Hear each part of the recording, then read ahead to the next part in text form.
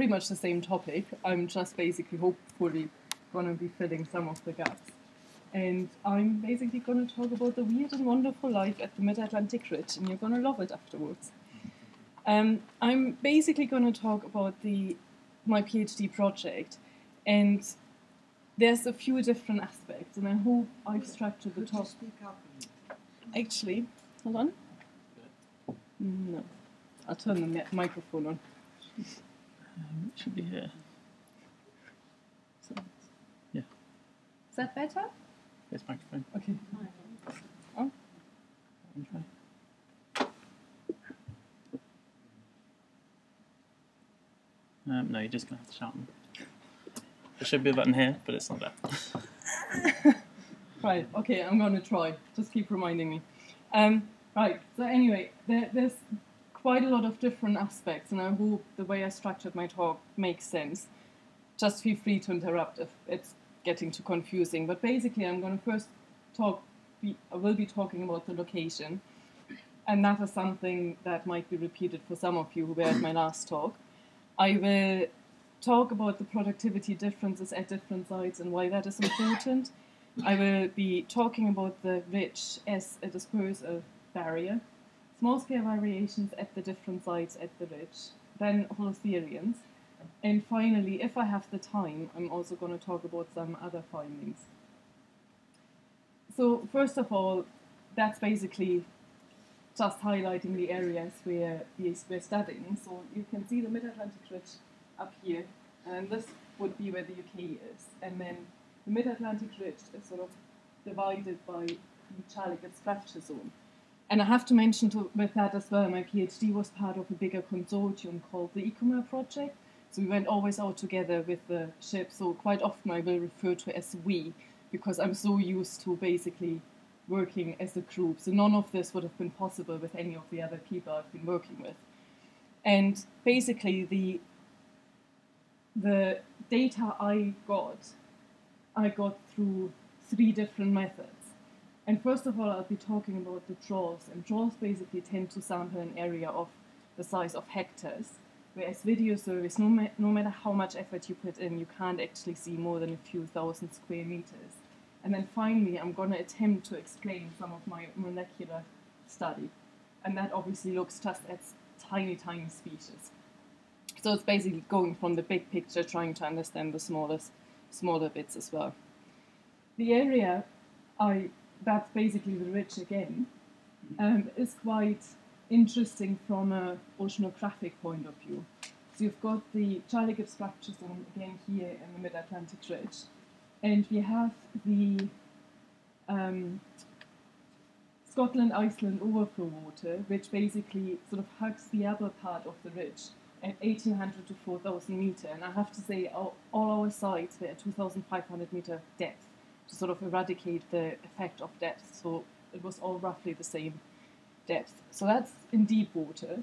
But we also have the surface waters, which is basically running just across the ridge, um, the fracture zone, the Gulf Stream, Gulf Stream, and that whole system creates the subpolar front.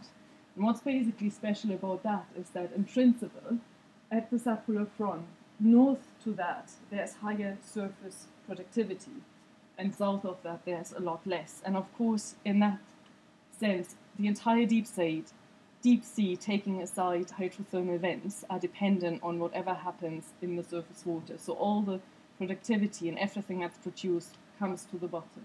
So that's basically one of the main drivers for any deep sea ecology except hydrothermal vents. So I'm first going to talk about our, my trawl samples, and like I said, this is sort of looking at the big picture. And the questions I was ad- addressing were once, do the differences in surface primary productivity reflect the benthos? And with that, I basically just want to explain a bit, because the biomass is basically seen as energy. So you would assume that if there's a lot of energy in the surface waters, there will be a lot in the benthos. That's the basic assumption. And the same with density. Biodiversity is a little bit different because you would expect in either very high or low productivity areas animals that are specialized enough that outcompete other species. So in very high productivity or very low productivity zones, you would expect um, sort of medium to low levels of biodiversity. Whereas in medium productivity, which is obviously very difficult to define, but generally speaking, you would expect high diversity. So that was one aspect. The next aspect I was um, looking at was whether the ridge and the fracture zone actually act as a dispersal barrier. And for that, you have to bear in mind in the water column, every animal lives in a sort of comfort zone, and that's where they thrive at that depth. And then if you look at 200 meters, maybe either side, they can't really endlessly migrate up or down. So if they want to migrate from A to B and there's this huge structure in front, they can't just go over it or underneath.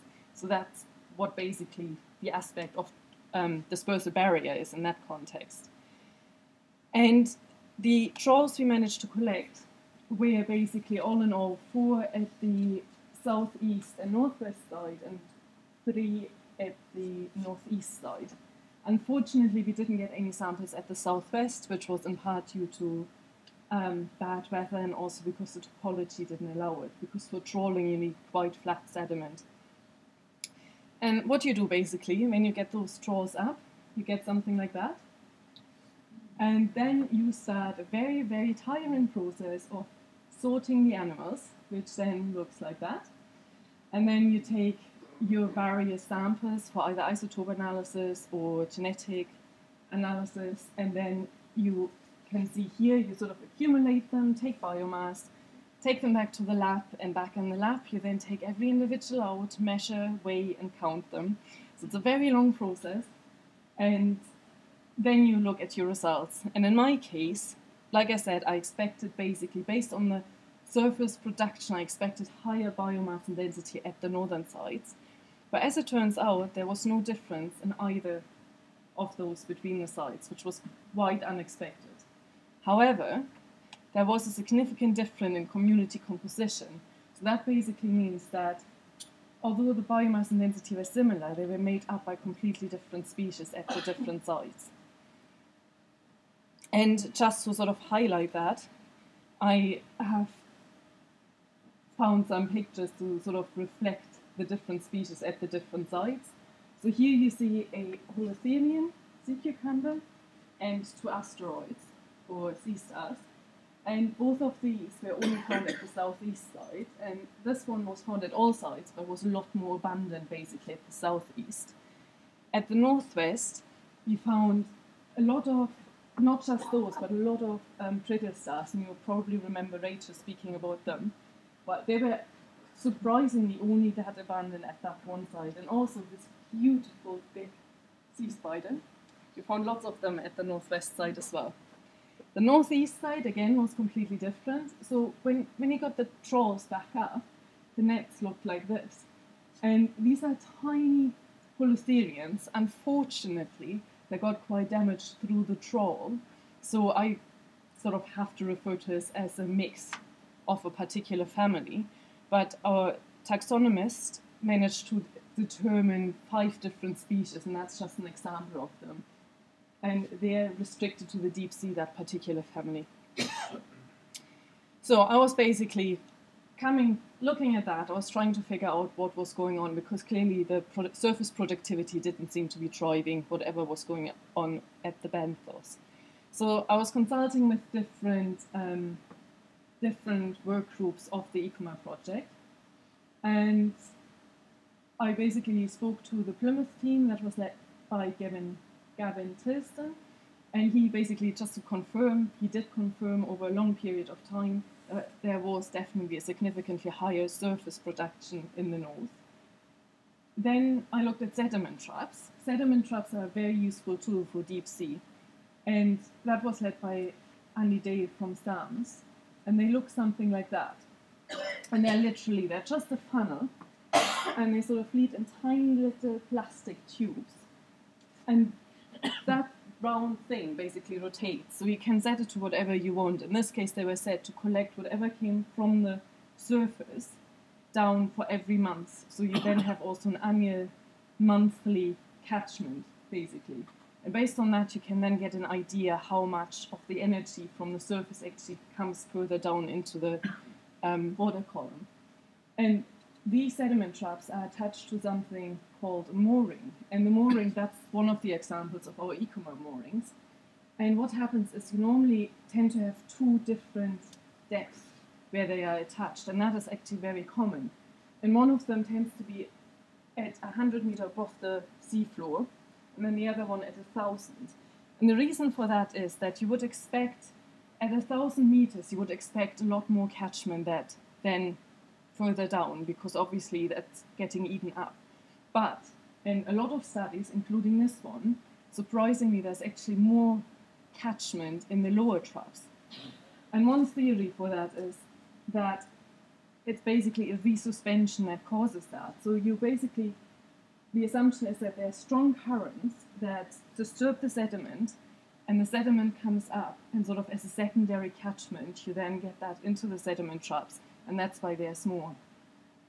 But you can you can still sort of try and understand how much of the organic carbon, which the actual food for the animals is, is caught compared to the sediment. And we then make analysis between sediment flux and organic carbon flux. And in this case, at the ECOMAR sites, they actually found that the highest organic carbon was at the northwest side. Now that was expected because that's where the high surface productivity is. But the lowest organic carbon, and this is referring to both um, sediment traps was at the northeast side. I can't even begin to, to guess why that could be, but it just is. And then, surprisingly as well, was basically at the set, at the northeast side where there was the lowest organic carbon, there was the highest sediment flux, which suggests that there was actually quite a strong current of sorts that basically disturbed the sediment enough that there was quite a lot of sediment that was actually caught in those traps. And then I was also I basically trying to understand the differences that could be driving any of the observed biology. And then the um, sediment itself was quite different as well, because, it, well, slightly different. They were very fine at both or all three sides. But in the north, they tended to be just a little bit finer with a little bit more water content compared to the um, south. And then earlier on, I showed that current that sort of hugs the upper ridge, which is supposed to be quite cooler and quite rich in oxygen. So again, I assume that there was lower temperatures and higher oxygen at the northern sides, but as it turns out, they're actually the same, or not significantly different anyway. So to summarize this bit, is basically why all sites are distinctly different in terms of community composition. They have no differences in oxygen temperature, biomass, or density. So none of that seems to be contributing to that distinctive community composition. However, the highest and lowest organic carbon I've just mentioned basically cause differences in biodiversity. So as I mentioned earlier, the medium organic carbon normally creates the highest diversity, and that actually holds true at these sites as well. And also interesting was that because I measured all the individuals, I could then see that the largest deposit feeders are at the northwest side, and these depend on fresh organic carbon. So they most likely have enough food source to grow to larger sizes at this area. Um, in terms of sediment flux, I don't actually know what and to what extent they influence at the northwest and southeast side. But I assume that the aggregations of these small holothurians are actually caused by that high sediment flux because these holothurians are always associated with high energy environments and they actually thrive. They're sort of the first accessional stage and after a disturbance, and they seem to, well, they are able to reproduce very quickly and they seem to recolonize that area very quickly. But also interesting was that the largest animals at that site were actually the burrows, which were animals living in the sediment, potentially being able to hide from any disturbance, and all those scavengers.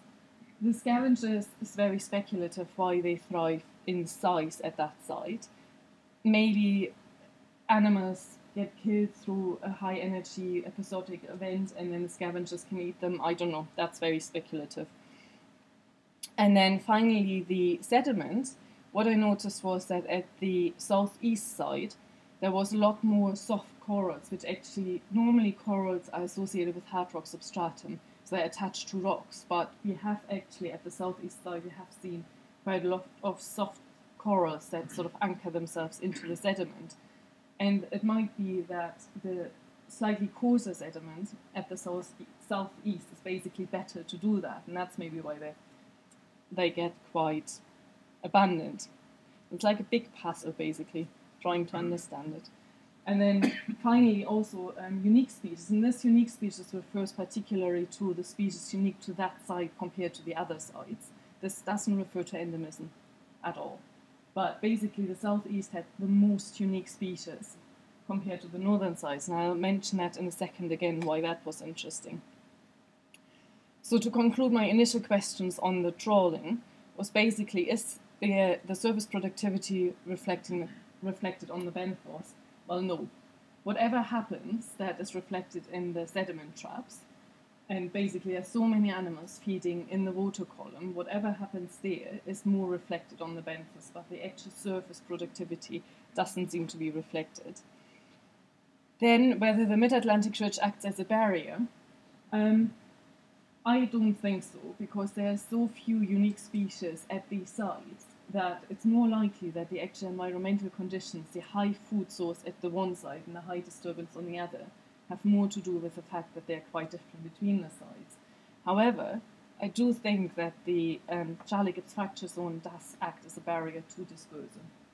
And that is basically in part because they have so many unique species and also because the community composition is very different. So, but it's it's non-conclusive as as yet, basically. And now to sort of zoom a bit in on that with the ROV or imaging analysis.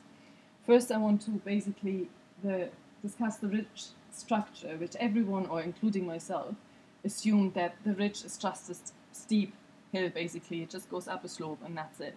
When it actually is a lot more complex.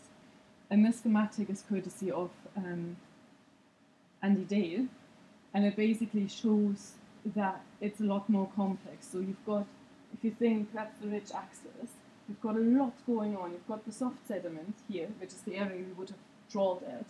You've got really steep cliffs, you've got sort of slight slopes, you've got outcrops, you've got all sorts going on there. And basically what my supervisor Dan Jones and I did, we're looking at the three distinct, what we call habitats. And we distinguish between flat, 2 to 12 degrees, which I will be referring to as 10 degrees, and then very steep, mm. well, anything larger than 30 degrees slope, which actually turned out to be very steep cliffs. And we did that with our beloved ISIS ROV, which is back up and running and healthy. And we looked at the two different habitats, as I said, the flat and the 10 degree slope. And every transect was 500 meter long, was at a set altitude from of 2 meter, resulted in every transect being 2,000, sorry, 1,000 square meter of high definition footage, which is pretty amazing because it's such good valuable data. And we had four transects per habitat per site, which had eight transects per site basically. And I then went on and analyzed them, and each video was basically one transect and could take me anything from a day to a week to analyze. So again, quite a lot of work went in there.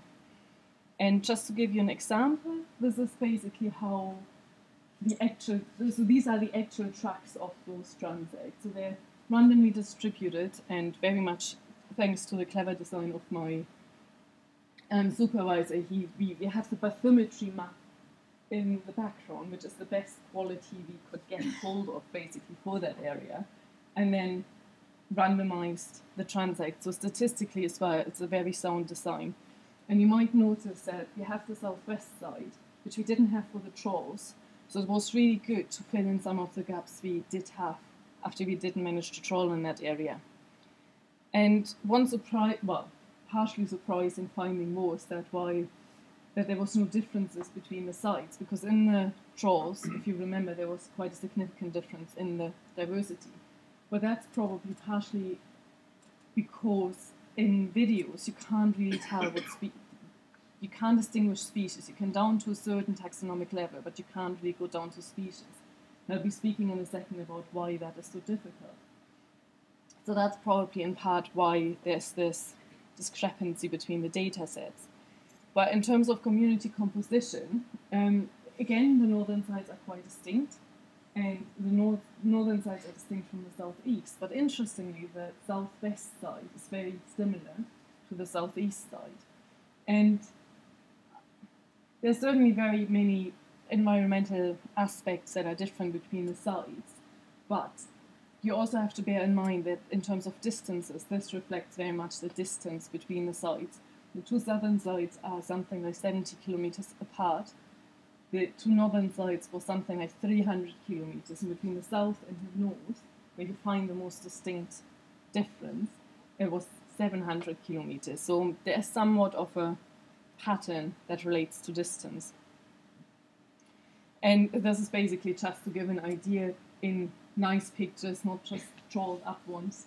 And you can see here again the ophiuroids, which uh, the brittle stars I was talking about earlier, they're still at the northwest side. But we also see this um, echinoid in this sponge, which we wouldn't have seen with the trawls, because the echinoid would break because they're very, very fragile, she fragile shells. And the sponge, they're sort of rooted into the sediment. And we wouldn't necessarily have gotten these with the trawl. So it gives us a lot more rounded idea. Those opportunistic holothurians I spoke about earlier are these guys. They're really quite small, but they were still very abundant. And then you can see at the southwest and southeast, there's those species occurred at both sides. The only difference at the southeast side is that we found this sort of spiky um, sea urchin, which is, I think, a new species which was not as abundant at the other sides. And basically, to then look at the habitat, basically the between the flat and the 10 degree, to look at whether there was any difference. It unfortunately just adds a level of complexity and confusion. At the northern sides, there was a similar species richness between the habitats, whereas at the southern sides, there was a distinct higher species richness at the slope habitat. And with the community composition, it was similar that there was no difference at the northern between the northern sides, between the habitats, but there was one at the southern sides. So unfortunately, there's no clear answer to why things are driven or are as different as they are or not different when you expect them to be different. So the question basically is, does slope affected? And the answer, unfortunately, only is possibly. And this, I think it needs more data. Statistically speaking, it basically says yes, there is an effect, but it's site dependent, which I think I made quite clear. But then, basically, what does that mean from an ecological point? And what I think is basically that, I mean, this is a schematic which is obviously very simplified. There's a lot of complexity at the Mid Atlantic Ridge and you'll get areas like even getting transects, one getting having one transect very close to this and then another one up to the summit will have quite a lot of difference. Anywhere close to cliffs will affect the um, the water flow and therefore will have an effect. So it doesn't necessarily mean that the slope itself has an effect, but there's definitely other aspects which I don't understand yet which ones they are. But that's the sort of ecological side of things. And that's the the ROV. So now I'm going to try and get a little bit into the molecular bit. And basically on both the trawl and the ROV cruises, I managed to collect a DNA sample, which was I was quite privileged basically in being able to go out to the same spot three times and get as many samples as I did. And I think by now you probably have gathered that holothurians are very important, not just for my area, but in general for the deep sea. The like the really deep sea, like from the, the trench depths, is considered the kingdom of the holothurians. And even at my fairly shallow depths, they're very important. And one one of their importance is that they actually bury um, is their involvement in carbon burial, and because of their they're very diverse, and some of them live inside the sediment, so they have the vertical burial based on them hiding in it. They just turn around the sediment. And then there's others that walk on top of the sediment and through their tiny tube feet disturb the sediment as well and bury some car- um, carbon. And also, they're very, very pretty. I love them. So you've got here you've got a rat tail, which basically that one is in the sediment. So if you sort of turn it around, it's not normally. I, want to say face. Obviously, they don't have a face, but mouth down um, in the sediment. And in terms of size, there can be anything from 10 centimeters to 30, 50 centimeters. So they can be quite big in terms of sediment penetration. And then we've got these guys as well there, as well, sort of inside the sediment, while here you can maybe see tiny tube disturbing the sediment. And you can see them in trays as well. Um, th- this is an example of very obviously different holothurians, but they're actually incredibly different, difficult to distinguish, especially at the species and even family level. And there are about 50 different characters. Sorry, Sorry, how deep do you find the Holothurians in these sediments? how deep? How- Well, yeah. The deepest I have seen is about 50, 60 centimeter, but that isn't to say they're not deep. That's at 40. um, right, so so there's 50 different characteristics, and obviously there are the obvious morphological characteristics, but there's also quite many internal ones, such as respiratory and things basically like skin deposits. What skin deposits are are tiny calcareous deposits that you can't see with, with the eye. You definitely need a microscope, and you take a bit of the skin, dissolve the skin in bleach, and then look at those deposits. And there's many shapes and forms of deposits as there are holothurians. And the problem is they are different in the same species, dependent on whether what side it is, whether it's on the tube feet or tentacles. But actually, most of the species level classification is based on those deposits. And just to give you an idea, so that's from a paper that's um, just about to be published from my taxonomy colleague Tonya. And so here you can see this is obviously quite distinct. So this is stuff that's in the skin. And these are called anchors. So they're quite distinct to any of the other ones. They're quite round. But then, so this is a different family to these. These guys are from the same. They are from the same genus. Yes. Sorry. But anyway, so so here you can see these are crosses, which you can maybe still distinguish, same as those C-shaped rods. But where it gets really tricky is when you look at these, what is called rods, and then something like that. And this is a very true representation of how different or lack of difference there actually is. The only way you can distinguish them is by these tiny little spikes compared to these. Now, if you gave me either one of those, I wouldn't have a clue, which is why I'm very grateful that I work with a very, very well trained taxonomist.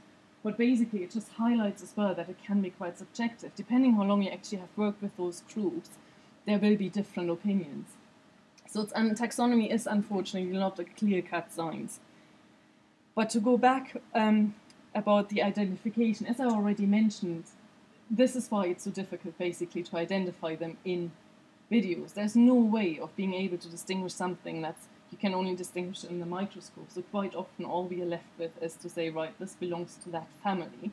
We don't actually know the species, which is why in terms of diversity, it's very difficult to use species in video images basically.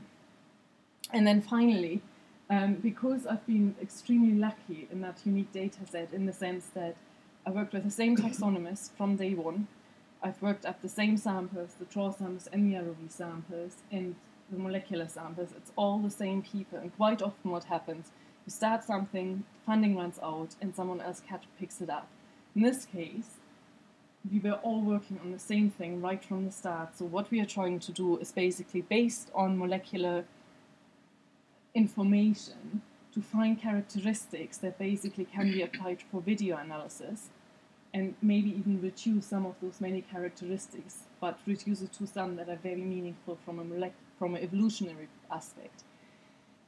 And that leads me to a little crash course in phylogenetic study, and I really, really hope this makes sense. Um, so, first of all, there are two diff- there's DNA. Everyone knows what DNA is. There's two different kinds, sort of very basic. There's nuclear and mitochondrial DNA. Um, nuclear DNA tends to mutate slower than mitochondrial DNA, and mitochondrial DNA is only passed on the maternal line. So this is all like from a very basic point of view. So as an example, I've got my little gene. So if you imagine this is a gene, and this can be anything up to thousands of base pairs. And this is basically a base pair. A base pair are two amino acids that form a bond, and obviously the DNA is a double, double helix. So that bond forms that DNA. Our entire body, our entire human being is made out of millions of these four amino acids. That's us. That's it. There's nothing else to it. And um, basically, the way DNA is replicated, replicated is we've got a molecule that sort of reads because they are always together. So A and T is always together, G and Z always together. So you have a molecule that basically reads this and would read off T A Z G T, so exactly the mirror image, and then create something else, mirror image, and so on. And the way mutations occur is that there's a misread. So then suddenly instead of let's say reading a T, you read a Z.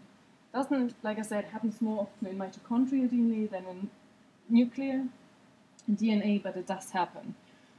But looking at holothurians, basically, what you do is there's databases which have published all the currently known DNA that exist for holothurians. So what you do is you pick all of them out for the gene you're interested in, and you align them. And when you align them, there are certain regions that are very conserved, where there's no mistake in the replication. And when you look at all the different species, you basically then know, okay, if that region is conserved about around between 50 different species, then most likely in the species I'm looking at, it will be conserved as well. Based on that, you basically design primers, which is effective, effectively that thing that replicates those two bits. And this is basically, you always have a start and an end point which you need. And what you actually end up analyzing is anything in between. So once you have your um, your primer, you then take your tissue sample and you mix it up with a recipe that's not unlike a baking recipe. You basically have X amount of certain ingredients, chemicals in this case, which you put into a tiny tube, which leaves you with 20 to 50 microliter of see-through liquid. And basically, all of this is a black box because you don't actually, you have to trust you've got the right DNA, you have to trust you have the right primer. So there's no CSI having a fancy piece of equipment that just spits out the data within seconds. This is all taking a very long time. And then you take your tiny little tube and put it into something called a PCR machine. A PCR stands for polymerase chain reaction. And all this machine does is it creates the right conditions and temperatures for the DNA to be replicated because you start out with very little and you try and get as much as possible so you can actually sequence. And you put it up to certain temperatures which can vary, you set everything, and you put them into different cycles, warm up, cool down, let them sit. And that can take up to 50 cycles. Some of them take four or five hours, some can take days. And then you take your, reaction, PCR reaction, which is exactly the same tube, looking exactly the same out, and know that there's actually DNA in there and then you put them into a gel. A gel, this is an example of a OK gel, and you basically have a ladder here, so you know the size, it's but like a ruler, and then you take a tiny bit of, of this PCR product and you put it into little pockets, and then you run a current. Based on that, because of that current and in the water where it sits, there's basically, depending on the size of the fragment you're looking at, it will move. And the small, the, the bigger fragments won't move as far as the smaller ones. So at this point, I would be like, okay, right, this is roughly the right size I was looking for because I did the primer. I know how much the fragment, how big it should be. And you get something like that, which is great for those really light bands because, yeah, I've got something, I can purify it and send it for sequencing. Unfortunately, in places like these where it didn't work, I have to go right back to the beginning. Got to play with the PCR, I've got to play with the temperature, with the times. If that doesn't work, I might have to try and create a new primer. So this is all just trial and error over and over. And then when I send it to sequencing, it basically there's certain places you send it to, they take the bit of DNA I've given them and create those base pairs. And what you get is something like this. And you spend weeks and weeks and weeks staring at something like that. This is a tiny fragment. Mine in length is 2000 over 2000 base pairs. And each line is a different species. And what you then basically do is you look whether they make sense, which, you know, it's a matrix or something. But like if you look, I mean these, like if you looked at this and you wouldn't see any of these, you'd be like, ooh, not sure, might be something wrong. So you're blasting them. So all you do is you take that same sequence, you put it back into the database, you blast for the most similar species with the most similar DNA. And this is where you start despairing because 50% of the time you sequenced yourself. Then you have to go right back to the beginning and start all over again. And the very few, well, not very few, but it does work eventually. So once it has worked and you're happy with your sequences, then go into modeling, and models have different assumptions based on how strong the links are between certain amino acids and how fast the rate of mutation is. And but luckily there's programs you put them in and they tell you what model to use which is best for that particular gene. And then you combine genes if you have different genes, otherwise you just use that one and then you create a tree. And that leads me on to the systematics. Systematics is a term that includes morphological taxonomy as well as molecular taxonomy in principle. And I mean, we are trying to combine it. And just to give you an idea, so it's all based on the Linnaeus, Linnaeus, Linnaeus system. And um, as an example, I put us basically. So we are of the class members, order primates, families Hominidae, genus Homo, and we are the species Homo sapiens. And to translate that into Holothurians, the class is Holoth Holothuridae. We have five different orders We've got about 23 different families. I don't actually know how many, how many genera, but it will be hundreds. And at the moment, there's 1,400 recognized species. And the the species I basically managed to um, take samples from from the Mid-Atlantic Ridge, create something like that. So that's the tree combining all the genes, and it looks a bit scary. Don't worry. Um, so you've got the orders at the sides.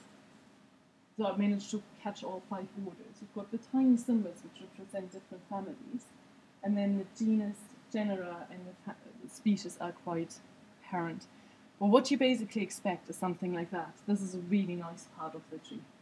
Um, so you've got this one order, and it's all nicely grouped together in one one plate, and you've got good support. So basically, in this particular case, I've run my my sample two million times. So what that one means is out of two million different possibilities and keep and it kept running and trying to combine the most logical combination. And two million times, hundred percent of the time it came up with this combination. So that's a really good sign. So that shows that the taxonomic or morphological taxonomy is quite sound for this particular order. And then we go down to family level. Again, this node then goes into a smaller node, which is perfect. Then you've got your genus, and then within that genus you've got your three different species. So that's great. But then you get something like this. So these are two species that cluster together with one, so 100% of the times, but they belong to two different orders. That's like saying a rodent and a primate are evolutionary or genetically like the same species. And if I zoom in on that, I basically show you some pictures of those. These two is that Amphithuria, and that one is the Deima. And they don't actually have any similarities other than that they live on top of the sediment. And what that basically shows is that while in some in some areas we know a lot already about their taxonomy which reflects evolutionary history, in others we might be picking the wrong um, characteristics to distinguish them, and that's something we're basically in like in collaboration with the taxonomists trying to find out. And it's very very preliminary. We are trying at the moment to look at our genetic tree and the um, taxonomic morphology and try to combine and try to find out what might be better to look at. And at the moment we've got those three, and I'm sure there will be a list of 20, 30, but at least if it's externally we can be able to identify them at in videos. But what it also showed was that skin deposits, so this little very confusing deposits, don't actually seem to reflect their evolutionary history. So this is mainly pretty much my PhD, and I just really briefly in a very few minutes show you some other interesting findings which we found through collabor- collaborating and one of them is you might have heard about Hermione. And Hermione stands for Hotspot Ecosystem Research and Man's Impact on European Seas. And what they do is they try to monitor how the impact of humans is onto the on the deep sea.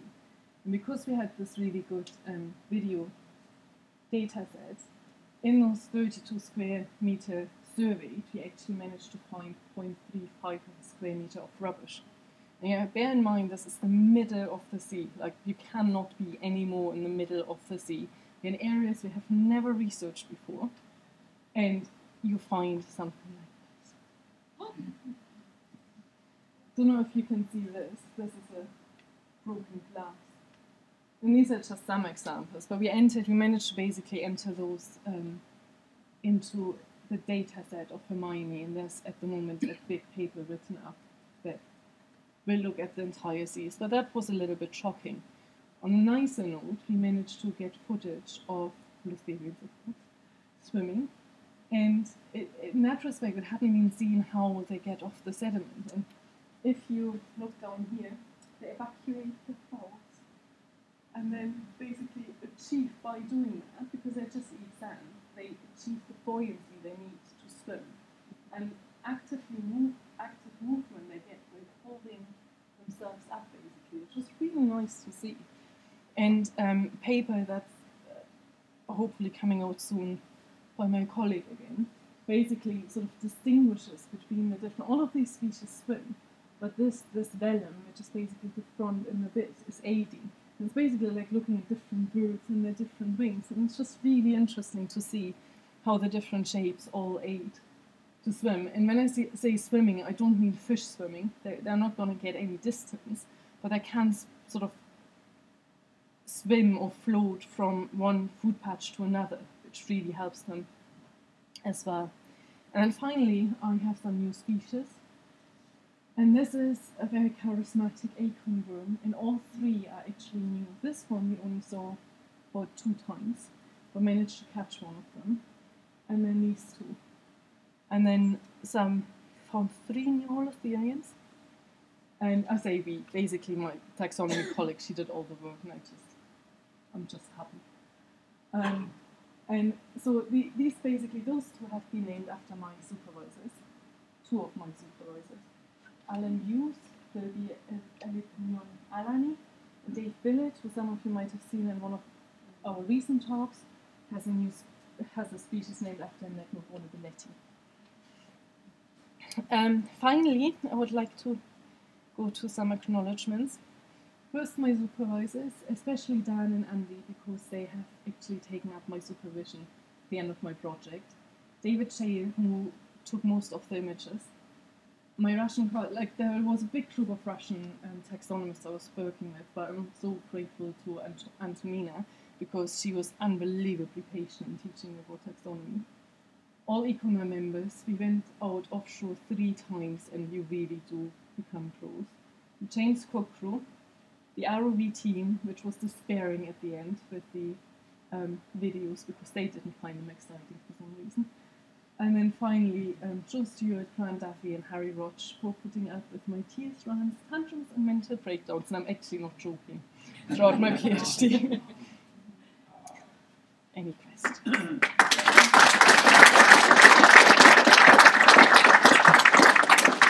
Thank you, Claudia, for that really interesting talk. Has anyone got any questions at all for Claudia?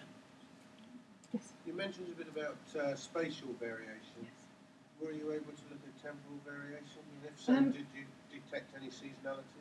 Um, I did manage to look a little bit at temporal variation, but not at a seasonal point because we went out in 2007, 9, and 10. There was looking at all three data sets, and it's very difficult to compare trawl with ROV, but you would always expect a lot denser um, count with the uh, with video footage. And there were certain aspects like the um, big sea spiders, this little big one, um, in, in our first trawl, they were extremely abundant, and in ROV, there were uh, hardly any. So there is an indication that there is a shift. Also, there's some study that has been done at Knox at the Porcupine Abyssal Plain site, and there's certain species associated with temporal change, not so much seasonally, but over the years. And there are some at the northwest side as well. You can't see it at all the sites. So there's the northwest side in particular where there is a hint. I mean, it's very much a guess at, at this point, but I think there is a def- there is a um, temporal change. Right. Would you relate that to season or not? No. No. Just time-based. I think it's uh, it's just sort of to show. I think this whole. I mean, obviously they're very dependent on the primary production, but I think there's also a natural fluctuation of populations, and I think that's something we still hardly understand in the deep sea because it's just really difficult to keep going back to the same places and get findings. But I think there's a natural shift, which has been seen in the pub as well. But I think it's general for the whole of the deep sea. So in terms of general conservation of, of the oceans, Mhm. do you need to keep going back to keep measuring changes, or Um, I, I mean, I, in an ideal world, it would be great if we could. I don't think it's that feasible. I think, in a, from a conservation point of view, what this study shows is actually how how important it is to take the right decisions in picking marine protected areas. Because what that shows is it's not enough to just say, okay, let's protect this part of the Mid-Atlantic Ridge and we'll cover everything what that shows is there is even within the same alleged environment, there's so many variations. And I, I just think it shows how little we still understand. Is it known what caused the Charlie-Gibbs fractures? Is it, is it a tectonic fault? The fracture zones are all along the ridge, basically. Um, I don't really know what exactly forms it. The way it's been explained to me, and don't quote me on this, is basically that because because it basically the Earth is rounded, you wouldn't be able to because it goes from pole to pole. It had to be almost broken off to maintain its shape. Presumably, don't quote me and how old do you have to be to have a species named after yourself? Very good question. Um, well, my one supervisor, David Billett, who has been working on holothurians for decades, that's the first species named after him, which is, to be honest, quite an oversight. I think people just assumed he had a species. I think, um, I don't know, a friend has just named a species after her daughter, so I don't think age has to do with it. You just need to know the right people. Do you not have any current measurements from any of the? Um, the problem, well, the, I had some current measurements from the um, ROV, but they don't look very reliable. Um, in hindsight, I should have checked every single time that they were calibrated properly. Majority of them look fine, but there are some where the, suddenly the depth is like a thousand meter, and then you look at the actual log, and it really wasn't. So there's that's unfortunate. We we do have some other current data from the trawls. The problem is they're all point samples, so I don't really want to extrapolate too much from them. I have a quick question if I can. Um, you said what you saw distributional differences between the trawl and the ROV. Were there any species that you didn't see at all in trawls, and then suddenly there were lots of them in the ROV, like a, a completely new species that you didn't expect to find at all? Or Yes. Um, well, especially species that, like sponges, be- because we had with the trawling, you can only get, you don't normally get them basically. And there were actually quite a few sponges that were in the sediment, sort of beautiful glass sponges, which we hadn't seen in the trawls.